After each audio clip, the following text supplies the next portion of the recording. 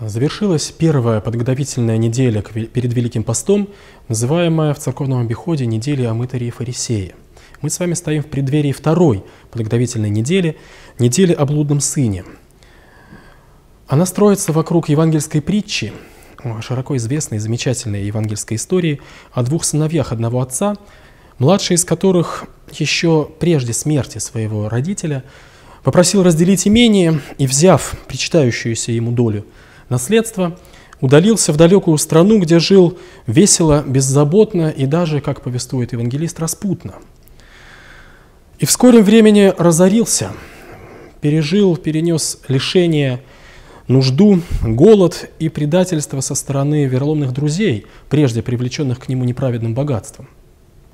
И вот в какой-то момент, встрепенувшись, придя в себя, этот сын, называемый евангельским языком блудным сыном, то есть заблудившимся, потерявшимся на чужбине, он осознал, что напрасно, зазря погибает, пропадает от холода и голода здесь, а, в далекой стране, посреди чужих ему людей.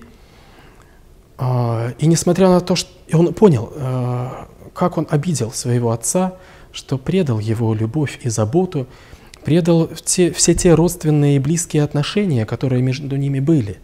Но несмотря на это, он помнил о своем родителе и надеялся, что тот тоже не забыл его, что тот не отрекся от него и примет его хотя бы в число своих слуг.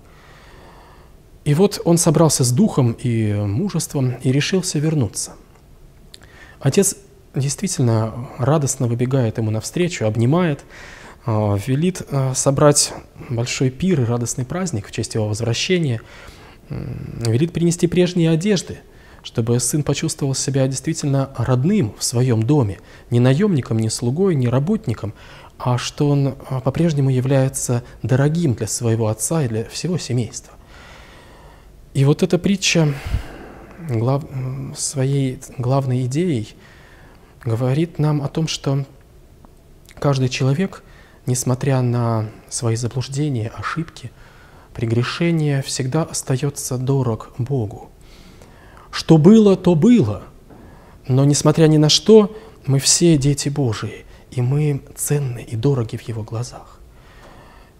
Вот с таким призывом опомниться, встряхнуться, начать выйти на поиск Бога, начать искать пути к Нему, начать пути а, искать пути собственного исправления и перемены к лучшему.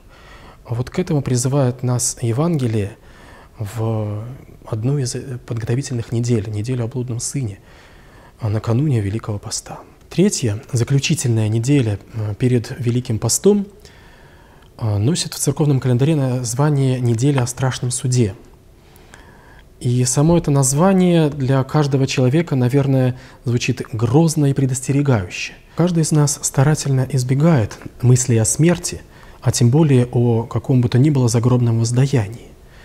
А во многих культурах тема смерти и вовсе табуирована, исключена из повседневного осмысления, обсуждения и речи. Церковь же из года в год неустанно напоминает нам о том, что каждый из нас не вечен, что смерть у любого из нас, в том числе у меня, не за плечами, и что любому человеку рано или поздно стоять перед Творцом с ответом за врученную нам жизнь, за веренные нам годы. Но в евангельском фрагменте, описывающем, как и за что а, будет спрашивать с каждого человека а, Творец миров на последнем страшном суде в конце времен, есть обнадеживающее и очень важное для каждого христианина слова – Христос говорит, обращаясь к а, людям, «А, «Голоден был я, и вы дали мне есть. Жаждал, и вы напоили меня. Странником был я, и вы приняли меня. Наг, и вы одели меня. Болен был, и вы посетили меня. В темнице был, и вы пришли ко мне». Когда же люди с недоумением вопрошают Христа, Господа, когда же мы могли Тебя видеть, и когда мы могли благодетельствовать Тебе – или же, наоборот, те, кому обращаются гневные слова Христа, что они ничего этого э, по отношению к Нему не совершили, и тоже в ответ на их недоумение «А, мы бы с радостью послужили Тебе, Господи, но мы ведь не видели Тебя в жизни, не встречали Тебя ни в каких злоключениях, и потому-то а, не оказали тебе никакой помощи, а, вероятно, увидев, не прошли бы мимо. И вот в ответ на все эти недоумения и вопрошания Христос подытоживает а, замечательными словами. Он говорит, что вы сделали для одного из братьев моих меньших, вы для меня сделали. И наоборот, то, чего не сделали одному из меньших братьев моих, того не сделали для меня. Оказывается, что все, сделанное нами по отношению к окружающему миру, к людям вокруг нас, Бог принимает на свой счет. Это одно из ключевых и основополагающих евангельских открытий. Но для меня лично точно было таковым. Бог принимает все на свой счет, что мы сделали для людей вокруг себя, как доброе, так и дурное. И эту принципиально важную истину церковь вновь и вновь, из года в год э, не устает напоминать нам в последние дни перед Великим постом, что каждому из нас рано или поздно отвечать за каждый прожитый день и за все то, чем он был наполнен, как мы относились к людям вокруг себя, к знакомым и незнакомым, к родным и близким, и даже совершенно посторонним.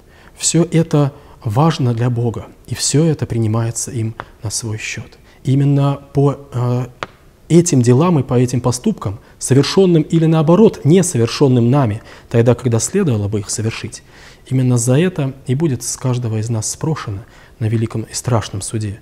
Именно за это рано или поздно придется каждому из нас ответить.